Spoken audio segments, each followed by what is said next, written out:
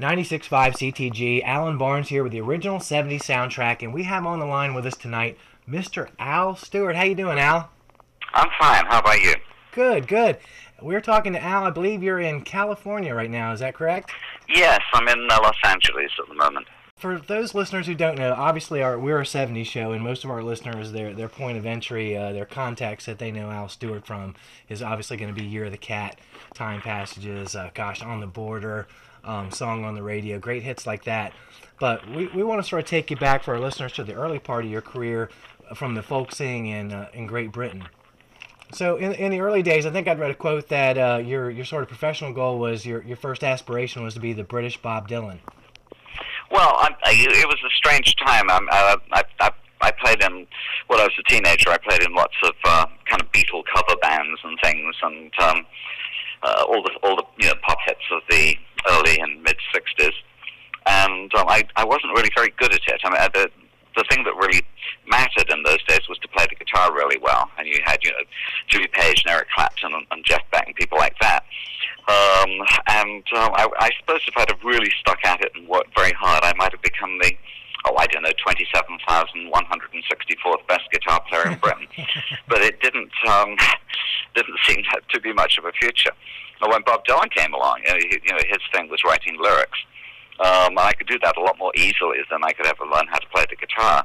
I think there were only about ten people in England at the time who really cared. You know what I mean? I mean, nobody was was bothering to write write lyrics. So I, I said, you know what? If I do this, you know, even if I'm the worst lyric writer in England, I'll, I'll still be the tenth best. right. sure. uh, so um, uh, basically, I, I after seeing Jimi Hendrix one night, I actually sold my electric guitar because I thought I'll never do that if I live to be a million, you know.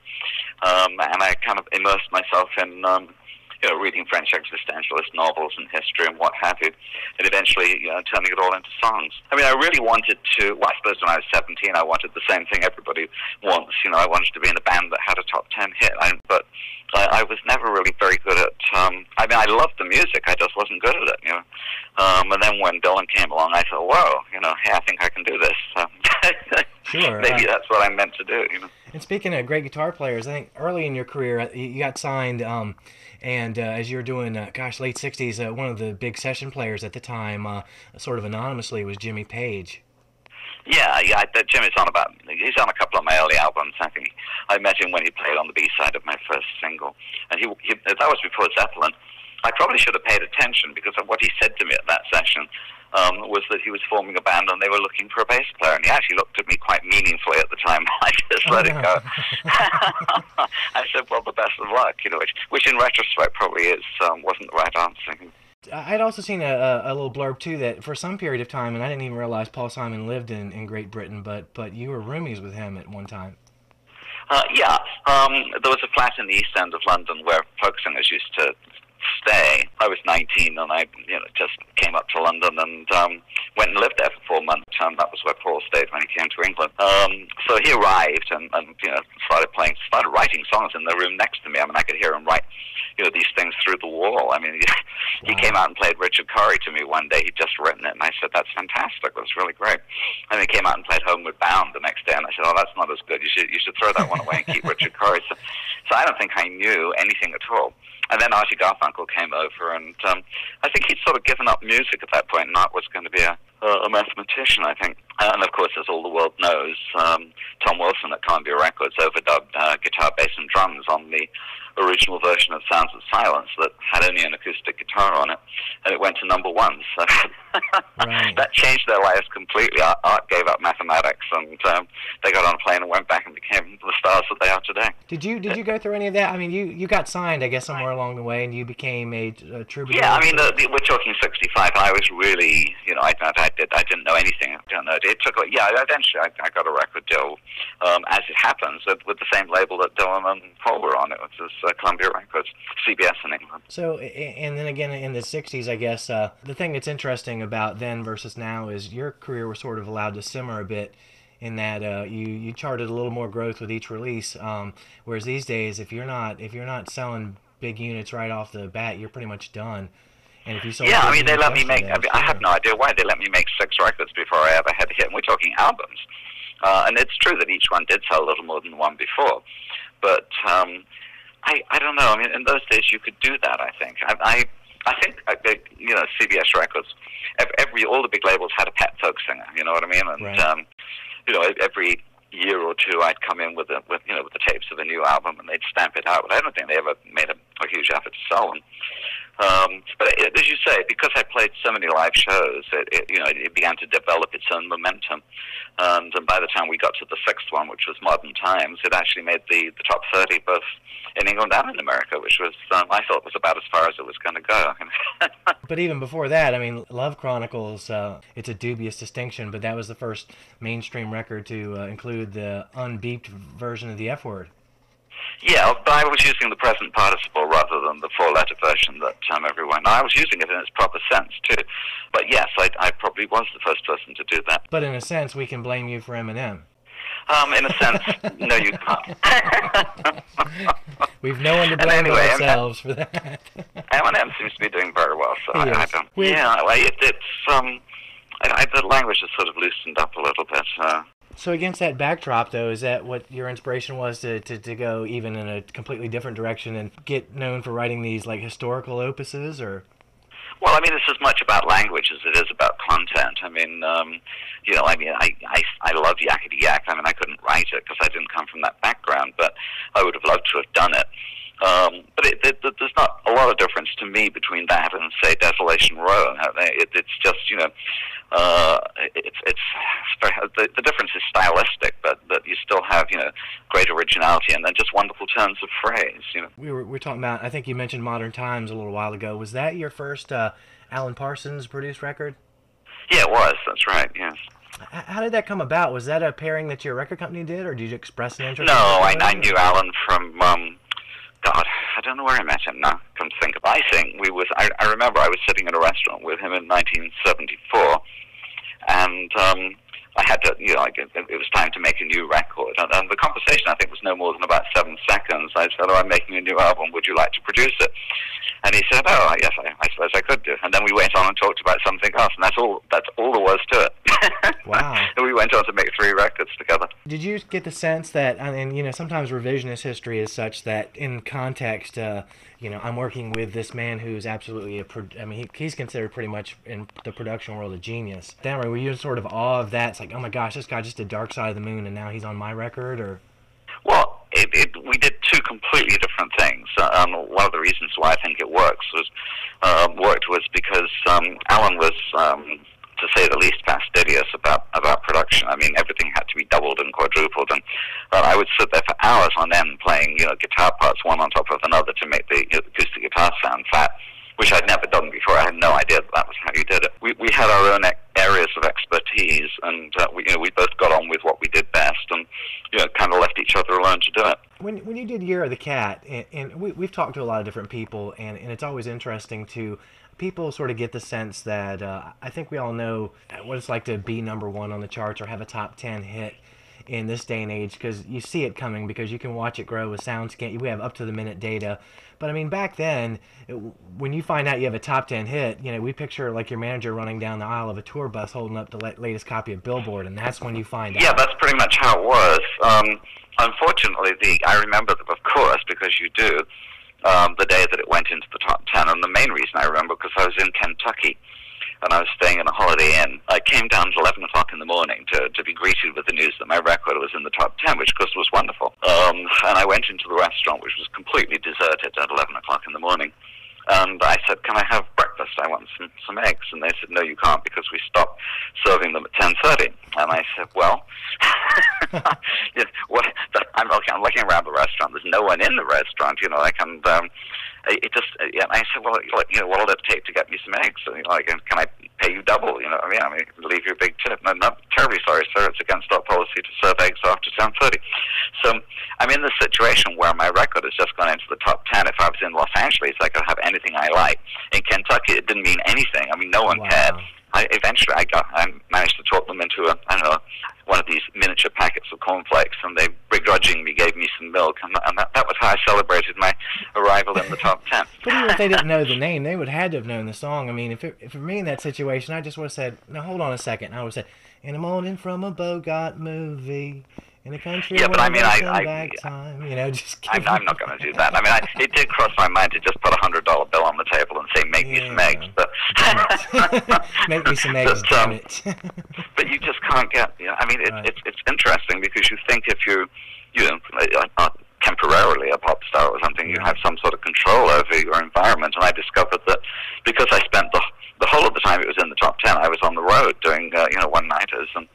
Uh, it, it's quite remarkable outside of you know the actual gig where they pay attention. I mean, you you spend a lot of your time in the most mundane fashion, trying to get your laundry done before you get to the next gig. I mean, just you know, like sort of, have I got a clean shirt? I mean, it, it's really weird because you you read, you know, like stories of Led Zeppelin throwing televisions out of the, the you know the the window. That actually it was the Who, I think. Um, and you think, God, you know, like if I had a hit, I'd have all this rock and roll fun. My whole experience of the six weeks of the record was, you know, like in the top ten was. Um, you know, entirely revolving around like kind of laundry and trying to get, you know, sort of lunch at uh, three o'clock in the morning a show. So it's, yeah, it's not the rock and roll uh, Cinderella story. It, it, it had nothing to do with it, and, and of course, by the time I got back to Los Angeles, the record had fallen out of the top ten, and, and everyone had sort of basically forgotten about me. So I missed all the parties and all the um, all the hijinks, and it was just all work at that time. The, the song itself, though, it, it's amazing the legs that it, that it has. Uh, four legs, I guess, would be the joke. But I used to play deck bars in an acoustic solo set, and I would throw "You're the Cat" in there, and it always got such a good response. Well, that one stuck around. I mean, there's no rhyme or reason to it. It's one of those things like I don't know, whiter shade of pale or whatever that refuses to go away. Um, which Right. is, it's, it's kind of charming. I mean, I, I I couldn't tell you why. I mean, I've written. I don't know, four or five hundred songs and re- recorded 200 of them, and, and that seems to be the one that everyone has latched onto. Being on the radio side of things too, especially then, we knew that uh, three, four minutes was tops, and, and you were still even in time passages. Uh, like "Song on the Radio," for example, ran over six minutes in its unedited form. Um, Yeah, they all run over Yeah. I mean, I can't write short songs. I mean, well, occasionally I do, but I don't often write short songs. Um, it's, it's, it's Shakespeare said the brevity is the soul of wit, and obviously I'm I'm witless when it comes to this. You know? or or soulless, one or how you want to flip that coin. But all I could think of was was the original lyrics, like "This song's too long to be played on the radio," and it was just like, Yes, yes, yes. you should do that. I won't charge you. So so what's the, so let's go get the flip side of that. So okay, your, your trajectory is going up, and then Time Passages come out. That does well. uh, That does well too. Uh, so so what starts to happen when you when you see the chart stuff start slipping away? Does panic sit in? Because I mean everybody has their has their era, and I don't think any of the big stars. I mean no one's going to just stay in the top ten forever. Does it does it does it cause you like to second guess your direction, or you just keep on going, or I think there are some, you know, really talented people who have great long careers. You know, you look at the Eric Claptons, the Elton Johns, what have you, um, the Paul Simons, the, the Bob Dylans. Um, and, uh, but these are the exceptions to the rule, as, you quite rightly say. I mean, there have probably been, I don't know what, 10,000 people who had a top 10 hit over the course of rock and roll, maybe more for all I know. And um, most of them have one hit or, or maybe two at best. You know, it, it's Right. just um, the way of the world, as you say. Think fashions and things move on. But I, I came into this as a folk singer, and, and you know, when I stopped um, making these pop hits, uh, I just went back to being a folk singer again. It was, it was, uh, it was actually what I did a lot better. I don't think I was terribly good uh, being an ersatz pop star. So. Um, to, to me, it was it was perfectly fine to you know pick the acoustic guitar back up and then go out and do what I was doing before, which I'm still doing. I mean, I'm still doing a you know, like a, a, a ton of gigs, uh, you know, but in the style that that um, that I did them for probably 43 out of the 45 years I've been doing this. There was a, a two-year gap in the middle where I had a band and saxophones and things, but that's not really what I do. I mean, it, it was a, Sure. it was just like visiting another planet, you know. The interesting thing too is the is the economics of that. I think I'd read somewhere that you actually started making money on tours when you stripped it back down. When you sort of slimmed down your business organization, for lack of a better term, that's when you actually started making a, a decent living. Yeah, I didn't really make any money when I was having the hits. I mean, I think we broke even on, you know, for say from '74 to '82 or something like that. It was um, when I had the band. Um, but it, it was just because of what you say. I mean, every time we went out on a tour, the tour would cost us, you know, we'd lose a quarter of a million bucks, and um, you subsidize it with record sales. So eventually, you know, you if, if you break even, you're lucky. A lot of people actually don't break even. Coming coming around to now, speaking of, you're on tour with Dave Nachmanoff, and you did the Uncorked album uh, last year, the year before. Um, Right. With with him. Some of the tour dates I see you have coming up for our East Coast listeners. Um, the one that's closest to our radio station is March the third at Rams Head in Annapolis, which is a I don't know if you've ever played that venue before, but it's Oh, I uh, played that one about um, I don't know six, seven, eight times. Okay. I do it every year. And uh, the other thing, I, I got to get this in because, of course, I'm a guitar player too, uh, um, I, and I'm a Taylor guy. I saw that that you're a Taylor uh, guitar player too. Uh, uh, do you have a favorite model, or But, you know, I only have one guitar. I'm, I'm um, looks like an 814 or a it's it's an 812C, I think. okay? Um, I got Laurence Juber got it for me. Um, in fact, it, it, it, it's a factory defect. It had a crack in it, so um, they gave it to me incredibly cheap. And for some unknown reason, it's the only thing I can play because I can't play most guitars because the action's too high. This one has an action like a Fender Stratocaster. So Yeah, Taylor guitars are magnificent. I was an Ovation guy before that, but uh, I, I have an Ovation too. Yeah, you know, I mean, I don't um, idolize guitars. I mean, I use them to uh, help compose song lyrics, really, which for me is what it's all about. So, uh, I mean, I like I like playing the guitar. I mean, it's great therapy, and um, it feels good. But uh, by no means a guitar player. It's not uh, my calling in life. You know? Well, I, well, don't sell yourself short either, because I think your guitar playing's coming a lot through a lot more uh, just within the two man realm than when you were fronting the bigger band. Uh, Well, I, I could have had a, a ukulele around my neck with the band because you could, because you couldn't hear it anyway, and it didn't, yeah. wouldn't, wouldn't have made any difference. That was one of the things that was depressing was that the, the, the sheer amount of noise that was generated got in the way of people hearing the words. You know.